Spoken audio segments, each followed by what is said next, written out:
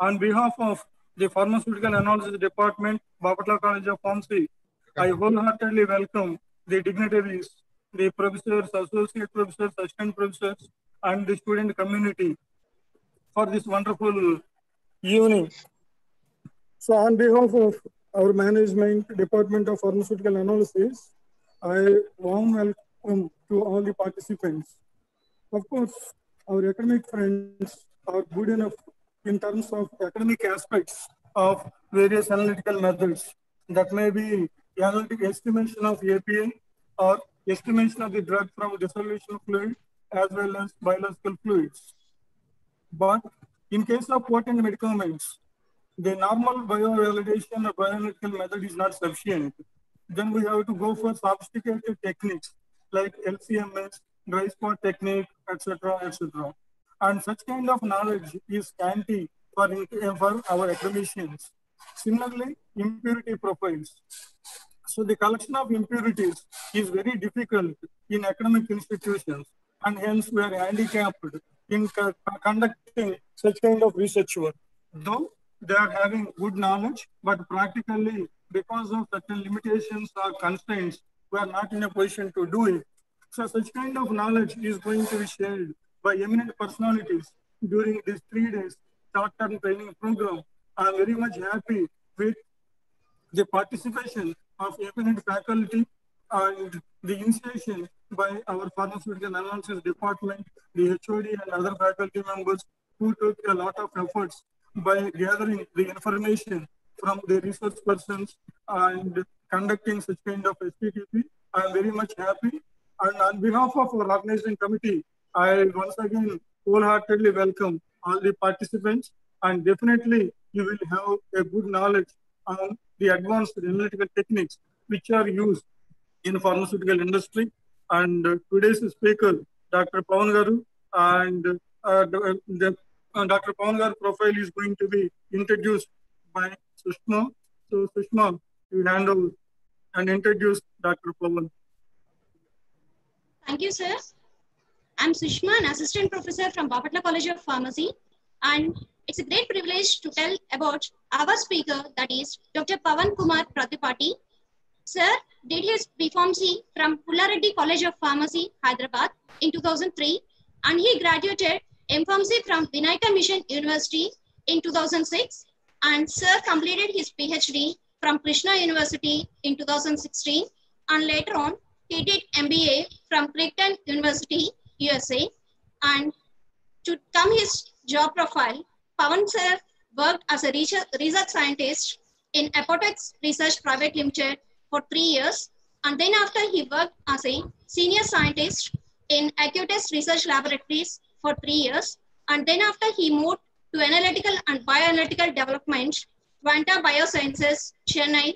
And there he worked for two years. And currently, Dr. Pavan Kumar sir is holding the position of postdoctoral research associate in Creighton University, USA. He is working there since October 2015. And coming to the scientific experience of our speaker, that is Pavan Kumar Pratipati, sir is having more than 13 years of experience in bioanalytical method development and validation. Sir had developed and validated more than 50 bioanalytical methods for molecules in biological matrices using LCMS. Sir is having vast experience in design, planning, and execution of ADME and preclinical pharmacokinetic PK studies and pharmacokinetic analysis of PK data.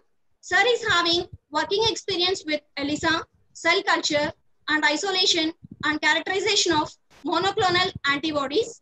Sir have authored more than 20 peer review articles. So we are having an excellent speaker over right now.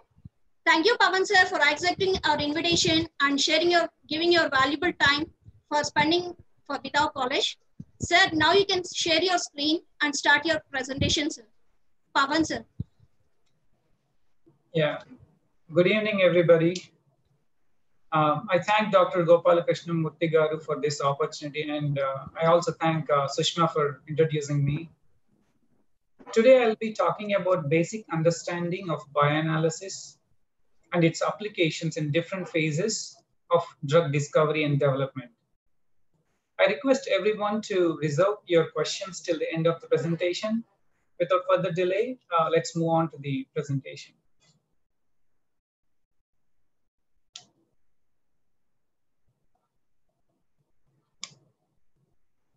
So the outline for today's presentation will be overview of bioanalysis, where I'll be talking about big picture of bioanalysis, followed by uh, LCMS-MS instrumentation.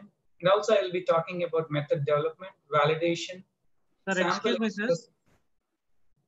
Oh. PPT is not appearing, sir. Is it not updating? Yes, sir. Yes, sir.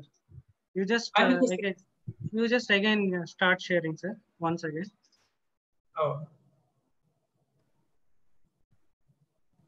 Um, is it not moving to, uh, it is not advancing slides? Yes, sir. Yes, sir. No, no. a- Any slides are appearing on the screen, sir. Okay.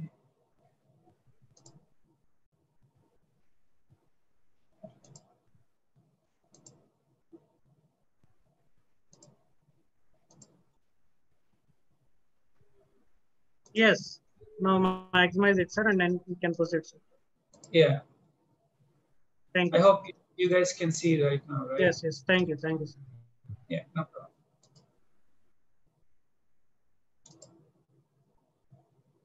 Sorry for the interruption. There is a technical glitch there. So uh, once again, uh, uh, today's presentation's outline would be an overview of bioanalysis, where I'll be talking about big picture of bioanalysis. And I'll talk about LCMS-MS instrumentation and various other instruments that are used uh, in bioanalysis. And I'll talk about method development, followed by validation and its application for sample analysis. And we'll look at some of the uh, guidelines by uh, different regulatory authorities worldwide. So what is bioanalysis? The analogy I would use is searching for a pin in a haystack. Imagine how difficult it would be to find a pin in a haystack like this. So how this is done? Through a combination of extraction, separation, and detection. So thank, no worries, thanks to uh, advancements in uh, chromatography and LCMS instrumentation, which made uh, lives of bioanalytical method scientists' job easy. There are various areas where bioanalysis is employed, like in pharmaceuticals, forensic, clinical, uh, and in several other areas. But for today's presentation, my focus will be on pharmaceutical application of bioanalysis.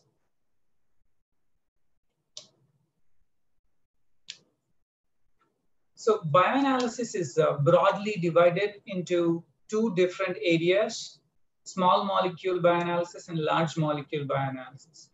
Small molecules meaning uh, molecular weights anything below 900 Daltons, and the large molecules have uh, molecular weights between 3000 to 150,000.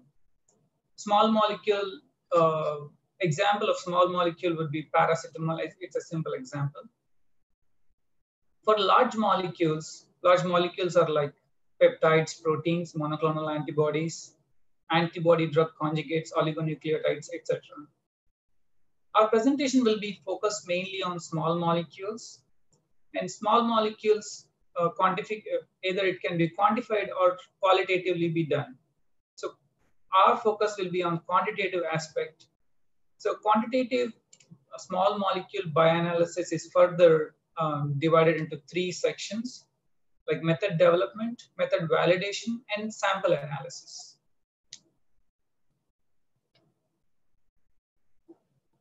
There are various instruments that are employed for bioanalysis, especially for small molecule bioanalysis. HPLC, UPLC, LCMS-MS, ICP-OES, or ICP-MS. During 1980s, HPLC was used as a uh, major instrument or the primary instrument for small molecule bioanalysis. Currently, LCMS-MS is the instrument of choice uh, because of its high sensitivity and specificity compared to other instruments. ICP OES and ICP MS are used for metal bioanalysis. The uh, instrument on the right, right hand side of the picture is uh, a, an LCMS-MS from AB SciEx. I'll be discussing about LCMS-MS um, in detail about its operation, principle, and mechanism.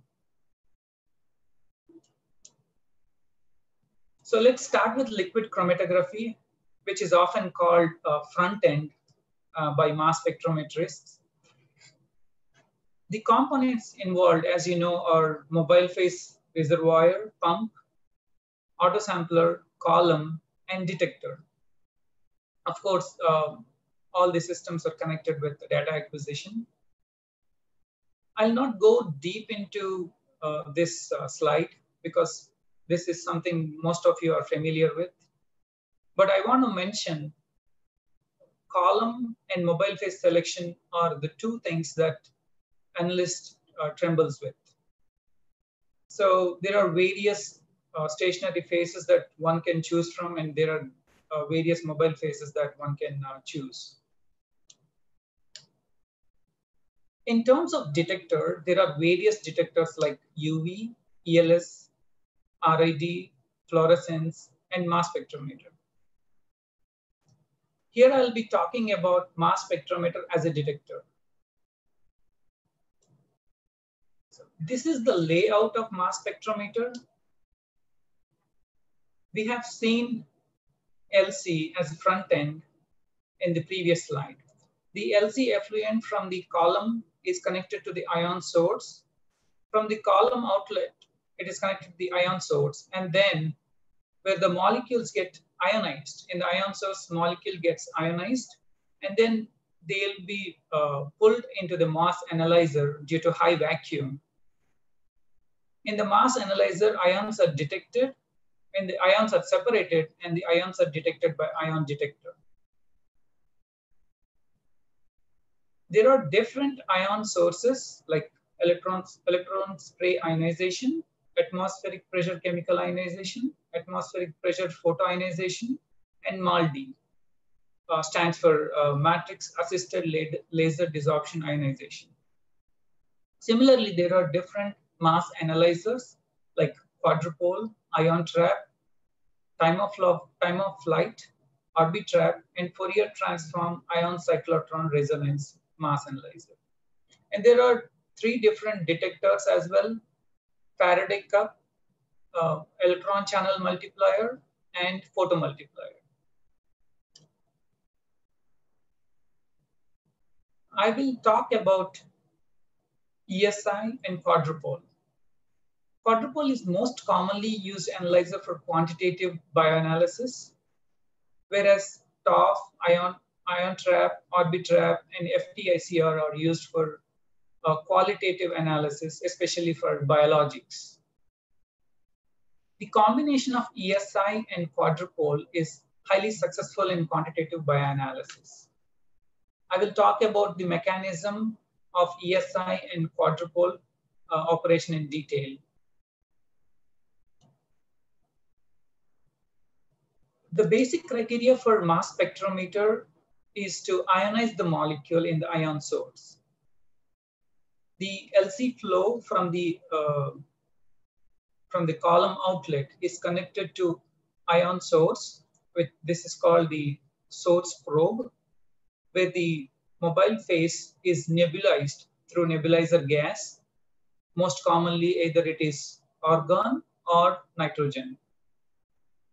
The mobile phase passes through the probe where it gets nebulized by gas and then the simultaneously high voltage is applied to uh, form charged droplets. In the source, there is a high temperature that is applied to evaporate the solvent shell and eventually due to Coulomb explosion, the droplet gets exploded into individual ions, which are then pulled into quadrupole region due to high vacuum.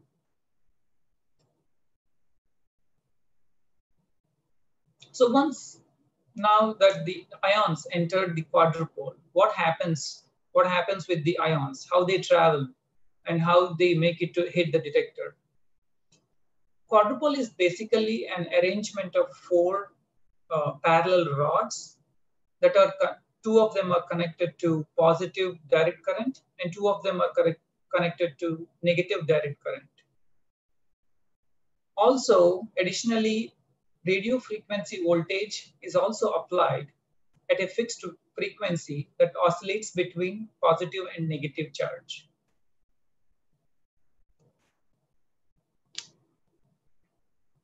Once the quadrupole make it to the uh, ion trajectory, this is called ion trajectory, at any RF by DC potential setting, only ions of one particular uh, mass to charge ratio have stable trajectory. So meaning uh, they can make it to hit the ion detector. Rest of the rest of the ions that could not make stable ion trajectory hit the quadrupoles and could not make uh, cannot make it to hit the detector ion detector.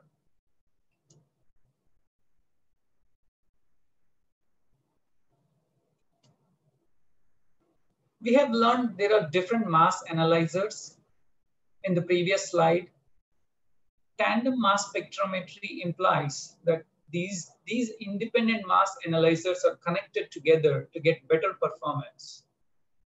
There are different tandem mass spectrometers available in available commercially. They are triple quadrupole, Q-trap, Q-TOF, TOF-TOF, and quadrupole Orbitrap. Triple quadrupole is most commonly used instrument for quantitative small molecule bioanalysis.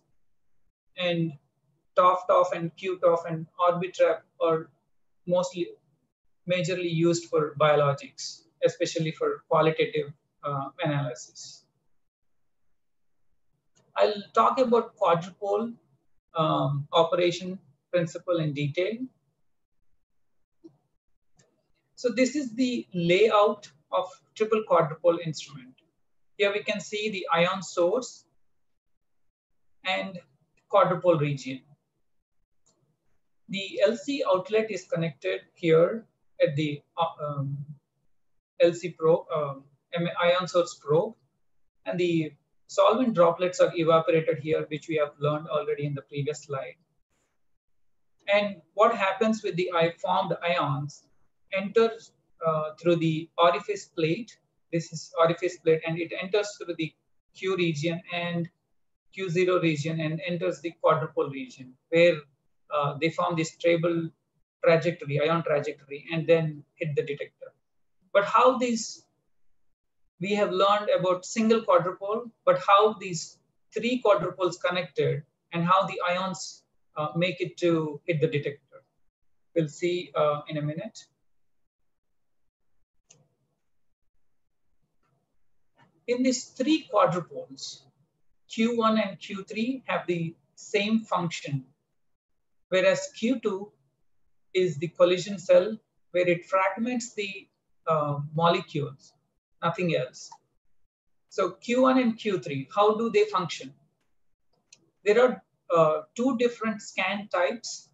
One is fixed mode and the other one is scan mode. In the scan mode, quadrupole tries to scan the entire range. Uh, imagine if you give a range from 100 to 500, if your molecular weight is between this, and if you want to scan anything between 100 to 500, in the scan mode, quadrupole scans and sends everything between 100 to 500 to the, to the ion detector. In the fixed, whereas in the fixed mode, you will select a single ion. Imagine you have selected 200, molecular weight with 200. Q1 allows only particular ion, that is 200, and then it will be sent to Q2.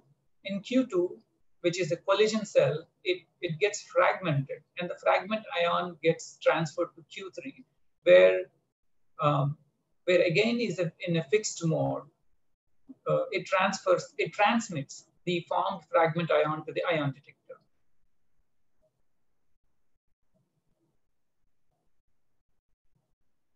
Let's move on to um, bioanalytical method development. I consider these three um, parameters like sample preparation, mass spec optimization, and chromatography optimization are major areas uh, one should know about um, before dealing with method development. So moving on to sample preparation, we should know about something about biological matrices. There are different biological matrices. The most routinely uh, dealt, plasma, uh, biological matrix is plasma. There are other biological fluids like um, cerebrospinal fluid and cervicovaginal fluid, etc. At times, it is mandatory to uh, study drug concentration in tissues like liver, kidney, spleen, and brain. And also in cells like PBMCs and RBC, uh, red blood cells. Um, PBMCs are, by the way, uh, peripheral blood mononuclear cells. So tissues and cells, sometimes tissue, uh, studies are warranted to uh, look at the concentration in uh, these matrices to study the tissue distribution pattern of the molecule. Dried blood spot. This is a uh, microsampling technique. It is still not accepted by uh, regulatory authorities, for especially for ANDA submissions. But this is a very good technique where um, the sample volume is limited, like in the case of uh, preclinical setups where uh, uh, studies are being conducted on mice and uh, rats, where the sample volume is usually less than 200 microliter. There are different extraction techniques to uh, get cleaner sample because we cannot directly inject plasma or tissues onto LCMS-MS. So we need those samples to be cleaned up. So what are the ways to clean the sample? They are protein precipitation, liquid-liquid extraction, solid phase extraction, solid phase micro extraction, solid liquid extraction. PPT, LLE, and SPE are the most commonly or most widely used methods, extraction methods. Protein precipitation. More, majority of the drugs are protein bound. So when we add organic solvents, acids, or salts, what happens to the protein is proteins crumble and they precipitate and leaving the drugs in the solution. So the most commonly used organic solvents are acetonitrile, methanol, ethanol, and acetone. And there are some acids like trichloroacetic acid, perchloric acid. Even the salts are used, zinc sulfate and ammonium sulfate. I would say the most commonly used reagents are acetonitrile, methanol, ethanol, and acetone. The procedure for protein precipitation involves sample is added to uh, one is to in the in the ratio of one is to four ratio of uh, precipitating reagent that is uh, these containing internal standard. We'll talk about internal standard in the coming slides. What takes the sample to aggregate the proteins? And uh, they are and the sample is centrifuged to uh, sediment the protein. And the super uh, and the supernatant can be directly injected onto LCMSMS or it can be dried or diluted depending on the um, necessity of, of the sensitivity.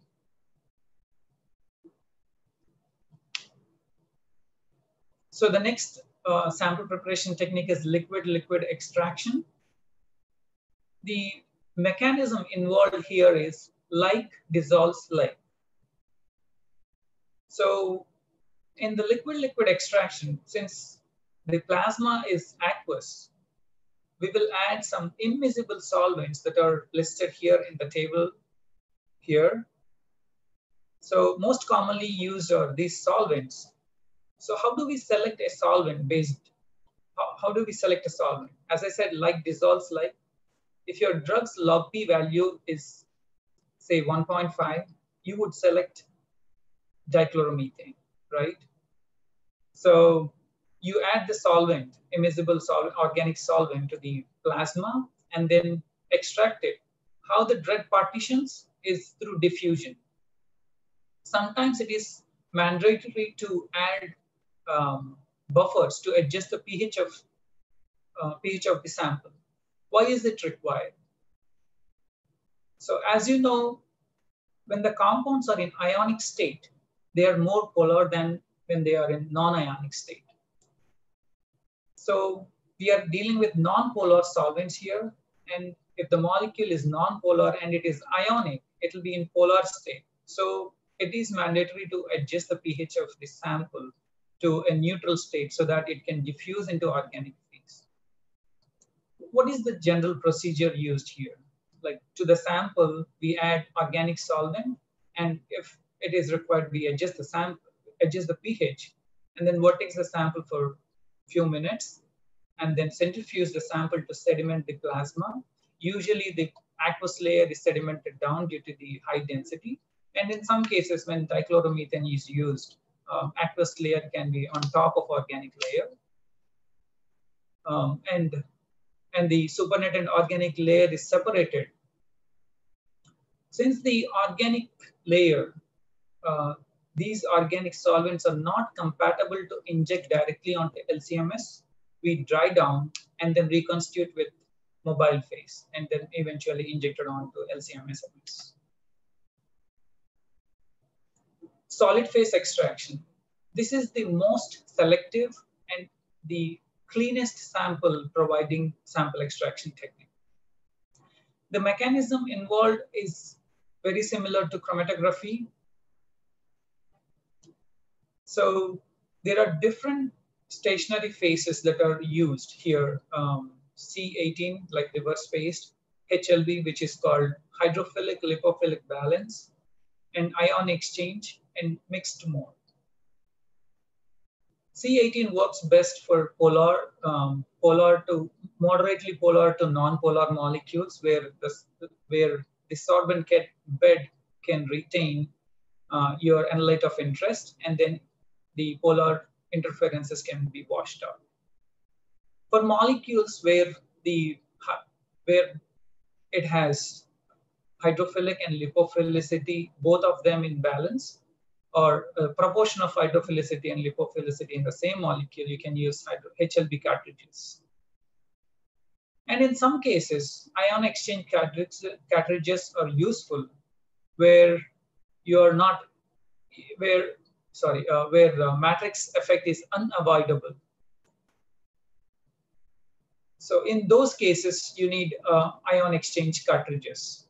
If you say if your molecule has ionizable groups, you can ionize you, you can ionize in the sample, and then they can attach to the sorbent bed which, ha which has ionic component, and rest of the uh, other interferences can be washed away, and you can elute your sample, elute your analyte, which gives the cleanest sample um, so solid phase extraction is um, tedious and expensive compared to uh, PPT, PPT, or which is uh, protein precipitation or LLE. Mixed mode is once again is a combination of HLB and ion exchange. Uh, this is also um, used when uh, matrix effect is unavoidable or you're uh, suffering with uh, extraction recovery. So what is the general procedure for uh, solid phase extraction? You prepare the sample by adjusting the temp adjusting the pH or diluting the sample. And then you have to condition the cartridge. Condition the cartridge, meaning you have to wet the sorbent bed with uh, some solvent. And then you pass this uh, pass the sample onto the sorbent bed. You, you need to wash the sor sorbent bed in order to avoid uh, potential interfering substances. And then now that your analytes on the sorbent, sorbent bed and you wash the potential interference, you can elute with um, organic solvents like methanol, um, acetonitrile, and this uh, eluent can be evaporated, reconstituted, and injected, injected onto LCMSMS. Moving on to mass spectrometer ionization, sorry, mass spectrometer optimization. There are two different um, parameters that one needs to optimize. One is ion source parameter, source parameter optimization, and the other is compound dependent parameter optimization. Source parameter optimization involves ion spray voltage, temperature, nebulizer gas pressure, and curtain gas. As these by name itself describes, describes their function. Ion spray voltage um, applies the voltage in order to uh, form the charged droplets. Temperature evaporates the solvent shell. Nebulizer gas nebulizes the uh, mobile phase that is coming through the probe. And the curtain gas, which is uh, a gas applied through uh, curtain plate, curtain plate in order to avoid solvent droplets entering the Q0 region, which eliminates the um, contamination of this uh, region. We don't want uh, solvent molecules to enter. We want only the ions to enter this region. So compound dependent parameter optimization. Um, there are different parameters, declustering potential, entering, entrance potential, collision energy, and collision cell entrance potential. What is declustering potential? Declustering potential is applied on the orifice plate to decluster the uh, ions. And collision energy is applied here in the collision cell. Um, by the way, these are all potentials uh, applied in, uh, in voltages. So entrance potential and cell exit potential are applied on stubbies before and after the collision cell, which narrows down the entrance of uh, the ions and exit of the ions. Chromatography optimization. I'll not go deep into this section because this is vast and um, this is also very familiar to most of you, uh, which is very similar to HPLC method development. Now, but there are a very few solvents um, and buffers that one can choose. Unlike in HPLC, there are vast number of solvents uh, you can use as mobile phase. But coming to LCMS, there are only few uh, organic solvents. Most of the times, I would say 99% of the times, you use methanol and acetonitrile combination of uh, buffers. So formic acid, acetic acid, ammonium acetate, ammonium formate, and ammonia are most widely used uh, buffers for mobile phase. And column, column chemistry is very similar once again uh, to HPLC or UPLC. So the only uh, difference that I would mention here is uh, we use very short columns, most of the times 50 mm or maybe 75 mm columns. Uh, there are different stationary phases, as you know, C18, reverse phase, C8, phenyl, HILIC, and there are ion exchange as well. And uh, yeah, and another uh, significant difference is since the columns are short, the retention times are short and run times are yes, they are short. And the injection volumes, um, in my experience, the lowest I used was um, 0.5 microliter. Um, unlike in HPLC, we go up to maybe sometimes 50, 25, 50 microliter as well. But in LCMS, we go uh, at the most 20, but most of the times 5 microliter. Now that we have come across sample preparation, method development, method, method development. Sorry, as a part of method development, we have come across uh, sample preparation, chromatography optimization, and mass spec optimization. Now that you have given a molecule like this, what are the appropriate parameters for initial trial? Where do you start? So where do we start? We need, we need to look at the properties of a molecule. We cannot we cannot simply uh, take up the molecule and start using some uh, solvent, some extraction technique. we need to take a look at the properties. Since this clofazimine molecule is well known, you can uh, search the internet, uh, search the literature and uh, get these values. But if it is not known, it's a new uh, compound, I mean synthesized in the lab, say NCE, new chemical entity. How do you develop a method for that? There are uh, softwares available, free softwares like ChemSketch, Marvin Sketch. In silico, you can do, uh, you, you can get these details uh, like pK and log P. Of course, you cannot get these values, but you can get uh, pK and log P value. Um, these are the primary parameters that you need um, to know what parameters you should be using for initial trial. So for clofazimine, the pK is uh, 8.51, um, which is a basic. Uh, and uh, so when the molecule is basic, and if you have acidic environment, the molecule gets ionized. We have learned the basic parameter or the basic fundamental uh, criteria for mass, spectrometer, mass spectrometer is to ionize the molecule. So for pKa 8.5, you would select acidic pH in the mobile phase.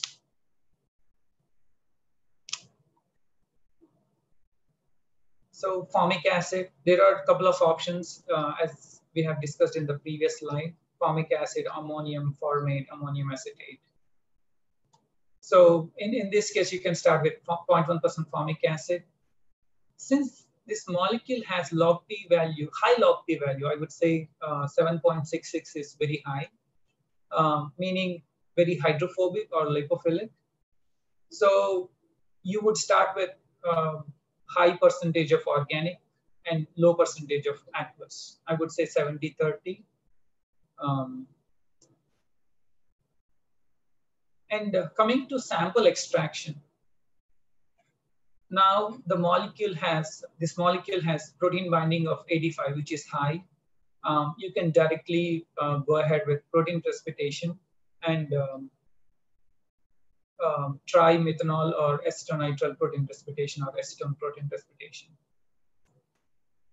But as I said, protein precipitation uh, has um, high, uh, high chances of matrix effect, meaning uh, there could be some potential interference um, that could be affecting, affecting the ionization of your analyte of interest in the ion source. So in that case, since this molecule has a uh, log p value of 7.66, you can um, also explore LLE because LLE uh, works best for molecules with log p value greater than one. Um, with log p values less than one, um, I would say, or maybe if it is a negative, uh, LLE may not work as best. So internal standard, uh, you need to choose a best internal standard for your method uh, to be rugged. So there are two options, um, structural analogs or labeled internal standard. Structural analogs um, are like um, the ones that are similar in structure or similar in physicochemical properties as that of your analyte of interest. And labeled internal standards are C13 or deuterated internal standards. Um, I would say in most of the times in uh, drug development phase, um, we use labeled internal standard because they compensate for matrix effects. Structural analogs are best for, uh, for molecules when uh, they are in drug discovery stage because these are expensive uh, to make. And the uh, secondary parameters that you need to consider while developing a method are metabolites. Are there any metabolites for this molecule which could uh, impact um, the determination of this drug? And is there any stability? Some, some drugs, like especially esters, uh, are prone to hydrolysis when um, it is in plasma. We'll talk about this stability uh, in the coming slides. Moving on to method validation, um, there are different parameters that uh, you need to validate uh, to prove that your method is rugged. So the parameters uh, that you need to test are selectivity and specificity, sensitivity, precision and accuracy, carryover, extraction recovery, matrix effect, dilution integrity, and stability, various stability experiments like benchtop, freeze thaw, autosampler, and long-term stability. I'll talk about what, the, what these terms are and how they do. How do we conduct experiment for these?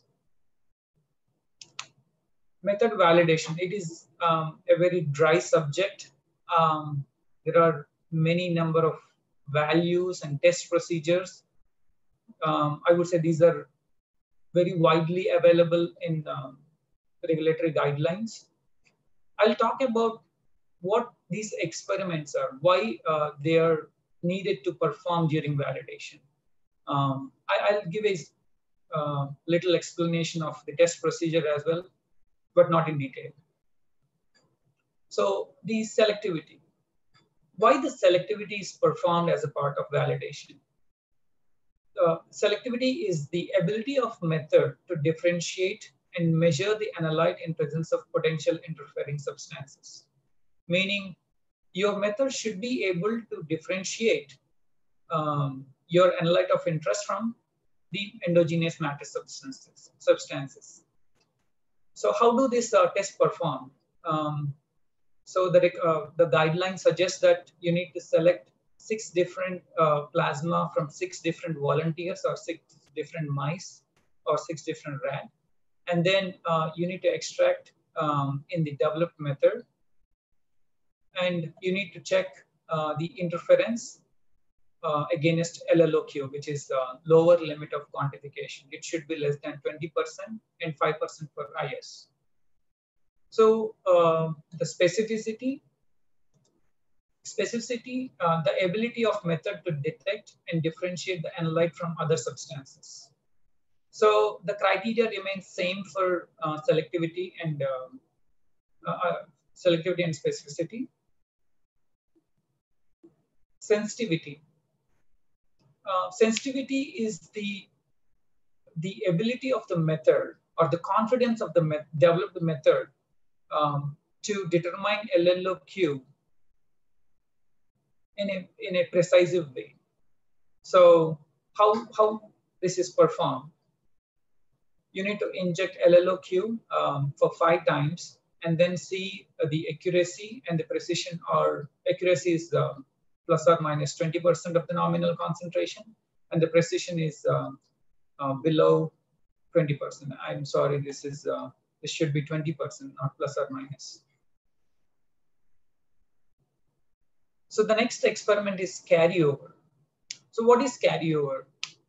Imagine if, if you have injected a lower concentration sample immediately after higher concentration, there, if there is a carryover in method, from the higher concentration, there, there will be a chance, a chance that some of the uh, fraction of the compound could be analyzed in the subsequent injection that is in the lower uh, concentrated sample and which can impact a true value of that uh, sample.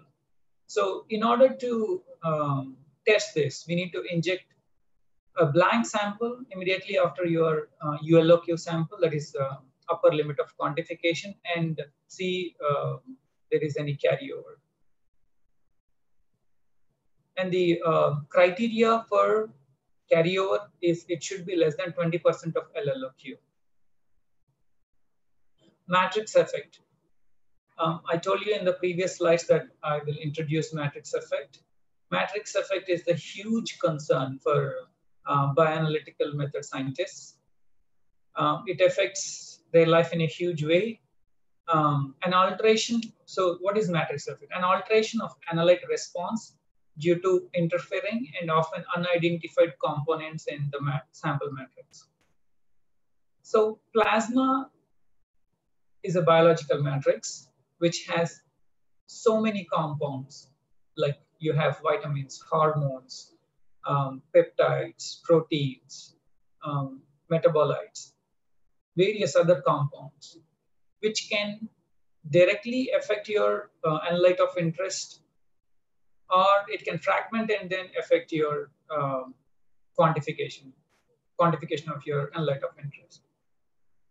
So how does this affect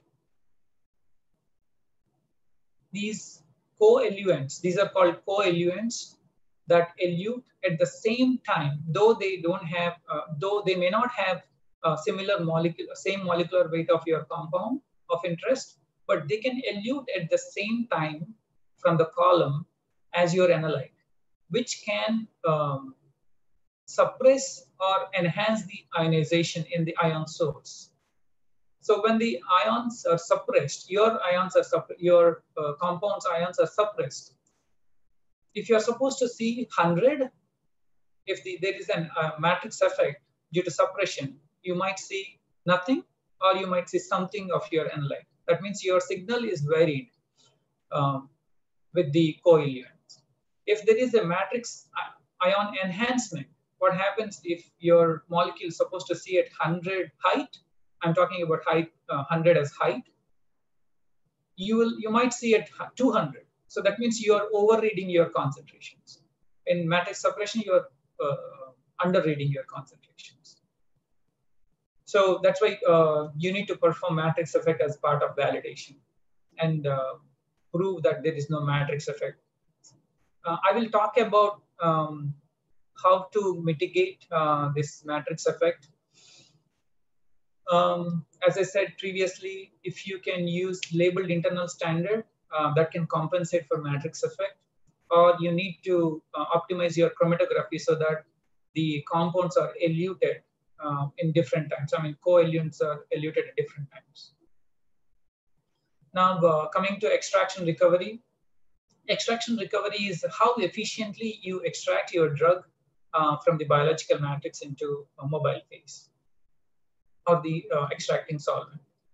Um, it need not be 100%, but it should be consistent um, throughout the calibration range. Uh, from lowest to highest, it should be consistent. Uh, it cannot be um, X percent at lower level, Y percent at uh, higher level. It, it should be consistent at um, all, all the throughout the concentration range, uh, standard curve concentration range.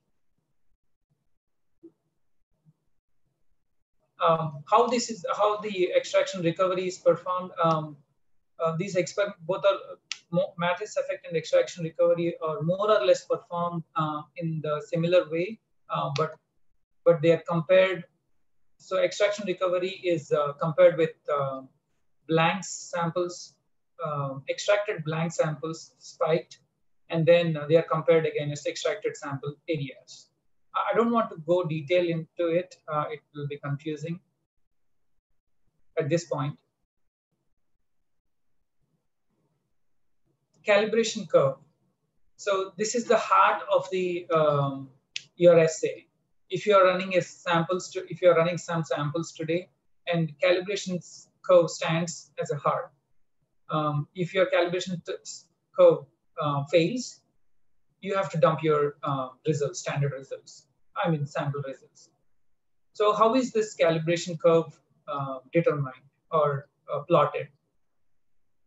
We uh, use blank, that is um, matrix blank, matrix blank uh, plus IS, there is no drug, that is called zero standard, and minimum of six um, standards um, from lowest to highest range. Um, and the plot, calibration curve plot is plotted against uh, x-axis is uh, concentration and y-axis is peak area ratio where analyte area and IS uh, area are uh, taken in ratio.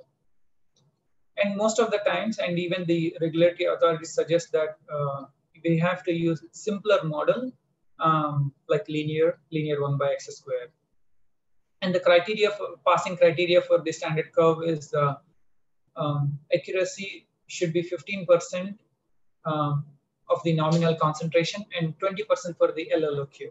And 75% of the six standards um, should meet. And precision and accuracy is uh, the how consistent uh, are your results.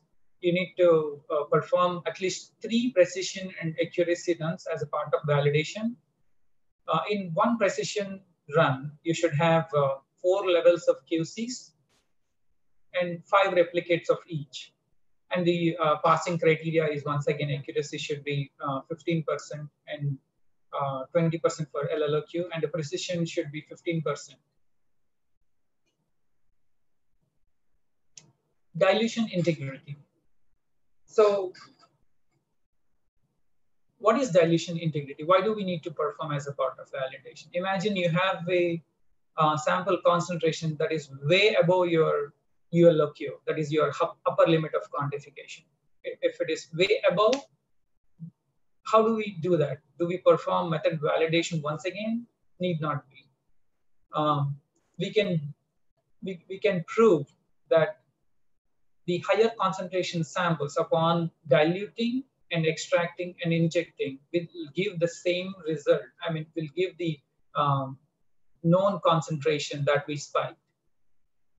Imagine your ULOQ is 1000 nanogram, you got 2000 nanogram concentration. So how do we do about it? We can dilute it one is to four times so that it will fall in your calibration range and then uh, inject it. For that, we need to prove um, dilution integrity will give uh, gives us the same value. We, we have to inject uh, at least five replicates of uh, concentration that is uh, above ULOQ and then see that accuracy and precision are within the specifications. Stability. Stability of the compound in biological matrix is a huge concern sometimes there are compounds that are um, quickly uh, degrade when the sample is as soon as it is collected and kept on benchtop. Or sometimes um, they are not stable on freeze thaw. Sometimes they are not stable when they are stored, stored even at minus 80 degrees centigrade. So there are different uh, conditions that we face uh, from the sample collection to the sample processing. So we need to prove that the compound remains stable during these conditions, that is benchtop, freeze thaw, autosampler, and long term. What are these benchtop? What, what is this benchtop stability? Benchtop stability meaning you have say that you have collected plasma sample and you have stored it on benchtop. Is it stable? If it is stable, for how long it is stable? we need not we need not see uh, until it degrades, but we can see for a certain period of time and then make sure your sample is not on benchtop beyond that time. So benchtop stability and freeze thaw stability. Some compounds uh, degrade when, when they are freeze thawed more than n number of times. Say uh, you froze your plasma sample and thawed it today, and then froze it, thawed it, froze thaw. So compounds might degrade on freeze thaw cycles. So we need to prove that your compound is stable for certain period of cycles, like one freeze thaw cycle, three freeze thaw cycles, freeze thaw cycles, um, something like that. So auto autosampler stability. At times, it is possible that you have extracted your sample and instrument is down. So what you can do, you can leave the samples in auto sampler or you can uh, store it in refrigerator at certain temperature. But you have to prove that at those temperatures, even the process sample is stable. Long-term stability. Um, you have collected the samples today and uh, you have stored it for X, uh, X number of days in the refrigerator, in the deep freezer is, is your compound stable for those many number of days? You need, you need to check uh, as a part of uh, stability experiment in uh, method validation. So the criteria, once again, it is um, plus or minus 15% of the nominal concentration. Uh, by the way, nominal is the known concentration that we spike into uh, matrix. So what are the applications of bioanalysis? It is um, the bioanalytical methods um, are useful in bio bioavailability and bioequivalence studies. And they are also useful um, in uh, preclinical in vivo pharmacokinetic studies. um, and ADME studies um, like PAMPA, uh, CACO2, protein binding assay, metabolic stability, etc.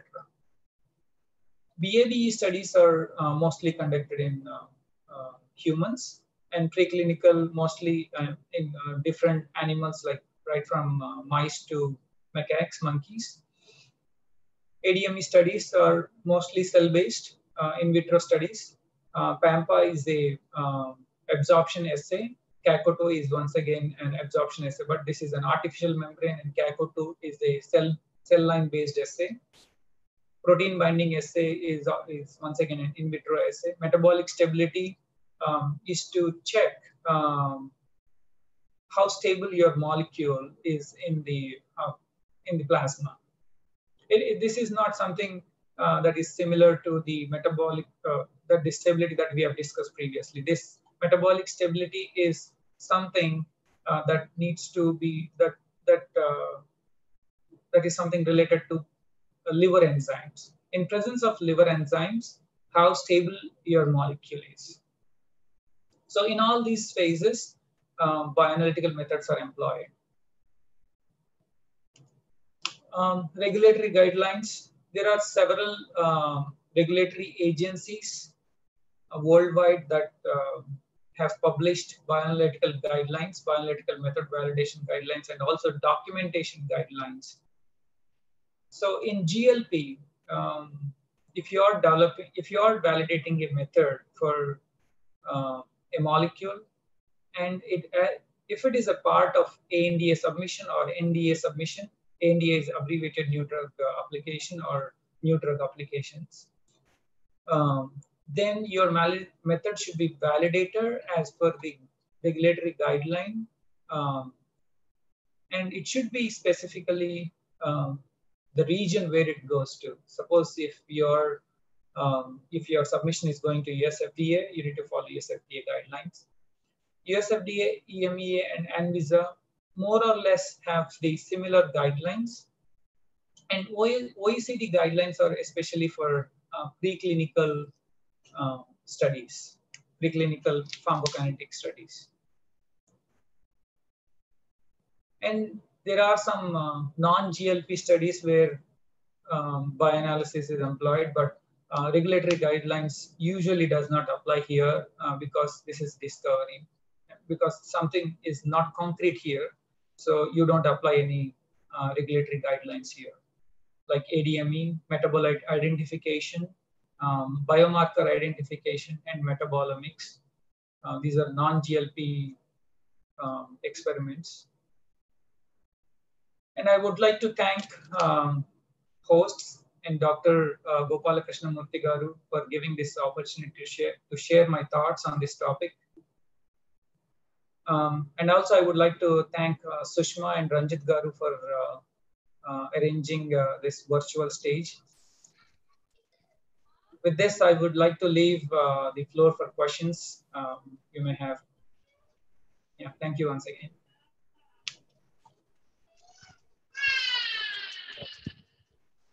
Thank you, Pawan sir, for your crystal clear, simplified explanation on this topic. I hope the student participants might be clear about this topic. So I'll refer the chat box and I'll ask the questions which the participants have asked.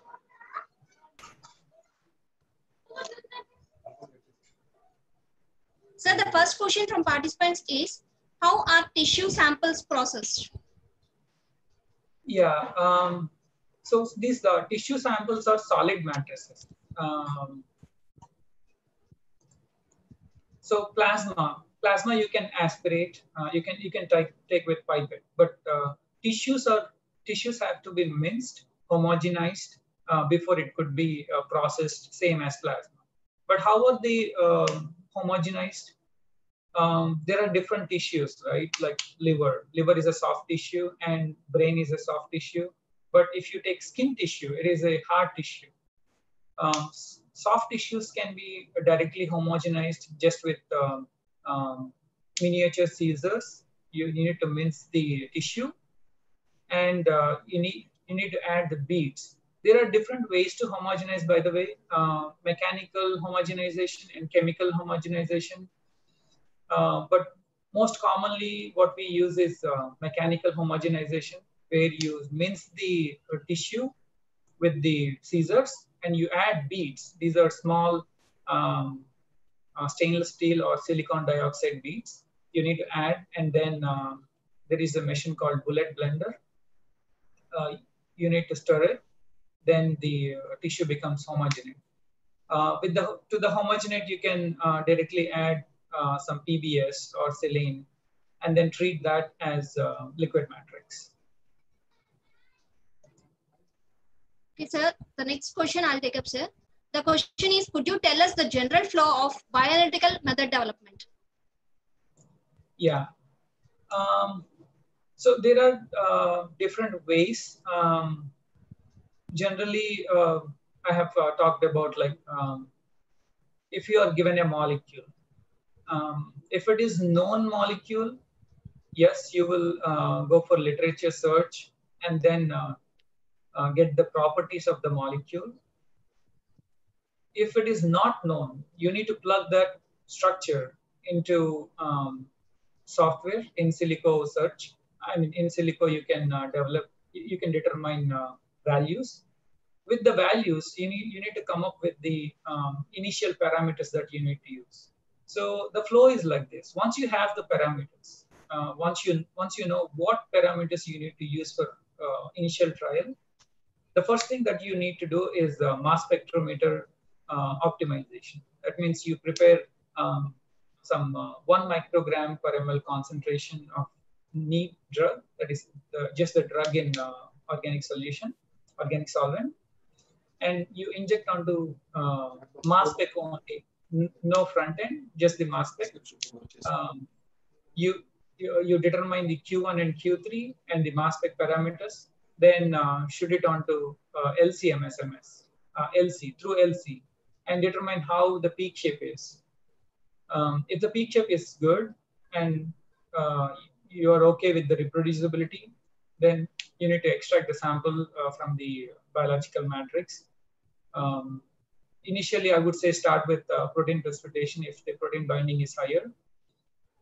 And then eventually you can uh, uh, explore LLE if the log P is higher than one. Um, if you if you have any problems with matrix effect, I would say um, SP is ideal. Yeah. So the next question is from student participant, sir. Is bioanalytical method development applicable for all drugs or is there any criteria to choose those drugs? Um, so bioanalytical method development is applicable to all the drugs. Um, say there are, as I said, there are different different areas that you employ bioanalytical methods, right? Right from um, metabolomics, biolog uh, metabolites, um, PK studies, TK studies. So for everywhere you need a method development, but for biologics and uh, metabolites, the procedure may vary a little bit, but for small molecule quantification, this is the flow. And uh, yes, it is required for most of the molecules. The next question, sir, if the molecule is unstable in biological matrix, what are the strategies that you employ to eliminate degradation? Okay, um, yeah, this is uh, challenging. If the molecule is not stable in biological matrix, um, so before you collect samples at clinic, uh, in clinical trial or BAB studies, or even in uh, uh, animal studies, before you collect the sample, you need to add stabilizer. Um, suppose, say, uh, there is an ester drug and it is prone to hydrolysis and become acid. So you need to add some stabilizer um, to stop the ester hydrolysis. Uh, you need to add um, stabilizer before you collect the sample to the uh, vacutainer or the sample collecting vial. Or there are some other different ways. Uh, if it is not stable during the sample extraction, uh, you need to check where it is, uh, which condition is not uh, appropriate for that for that molecule. You need to minimize that.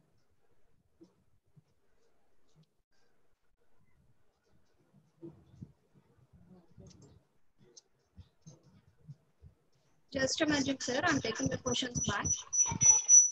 Yeah.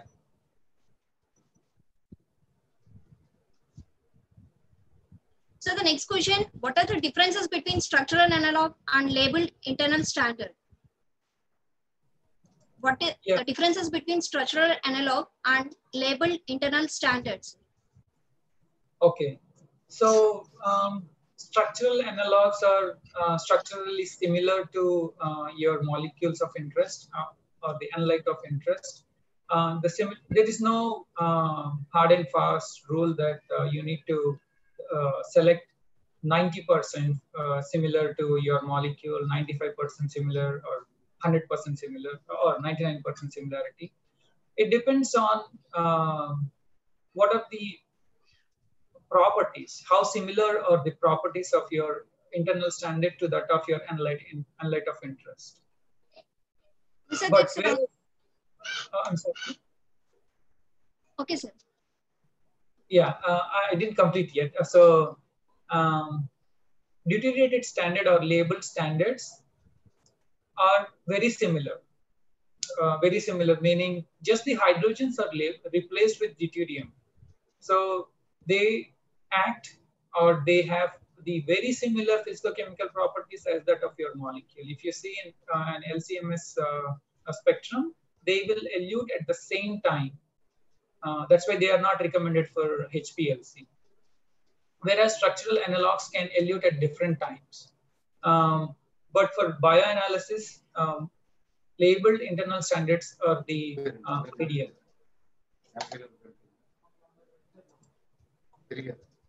Yeah.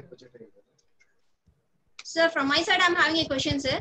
You mentioned that matrix effect is major drawback of protein precipitation. Is it? Mhm. Is there any way to minimize matrix effect, sir? Yes. Um, so if it is coming from protein precipitation, um, there are a couple of ways. Um, is it because of a particular solvent? Like you can use, as I said, you can use methanol, acetonitrile, acetone, or some other acids or salts, right? You can choose um, if methanol, if the uh, matrix effect is coming from methanol, you, then you can switch the solvents to uh, other solvent. But in most of the times, if the matrix effect is coming from one solvent, it, it would also come from other uh, solvents because proteins uh, are precipitated in the similar way if you use uh, acids or, I mean, if you use any solvent or acids or salts. So proteins will precipitate and uh, the co-eluents um, will be in the solution with your molecule.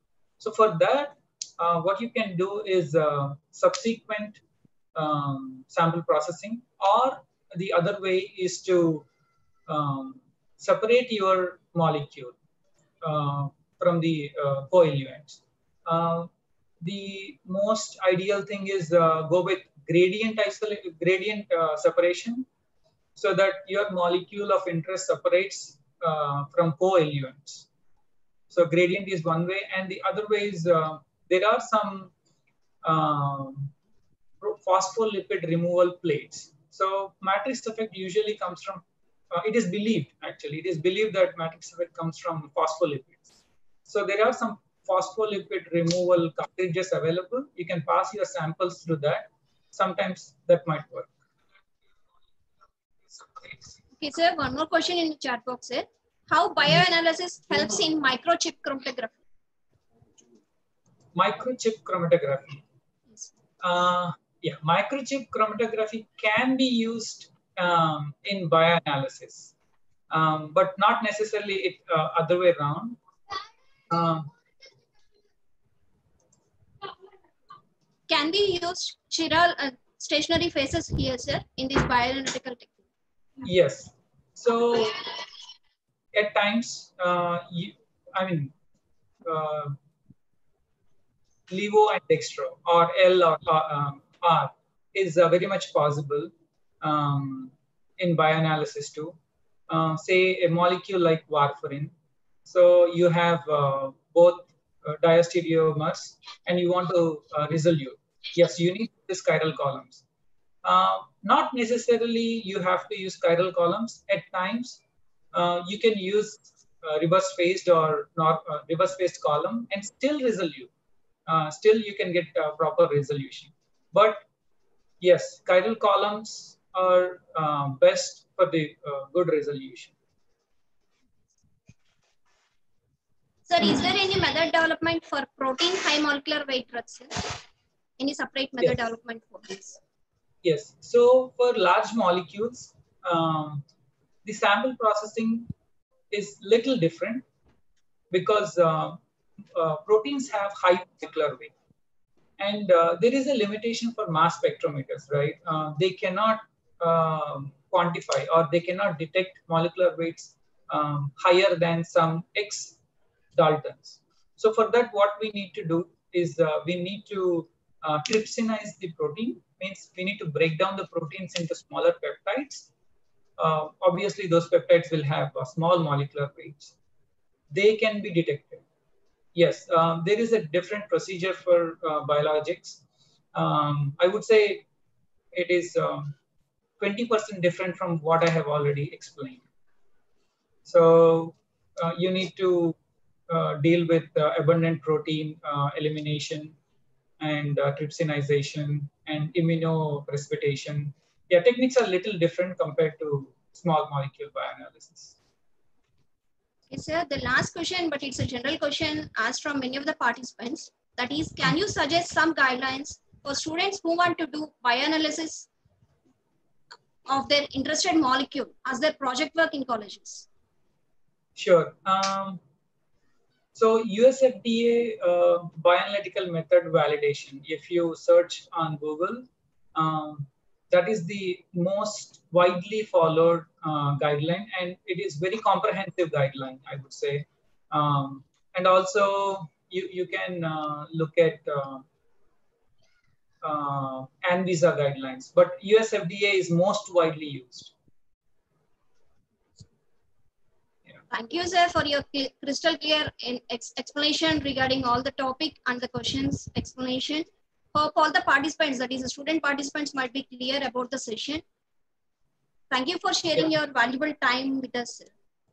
Yeah, um, I'm open to uh, any questions if uh, one may have. Uh, they can shoot an email to me. Um, I, I hope you have my email ID. Yeah. Okay, sir. I'll be sharing your email ID on YouTube right now, sir. So if Yeah. any doubts, the participants can directly post on to you. Yeah, thanks. That's, that's Huh? wonderful.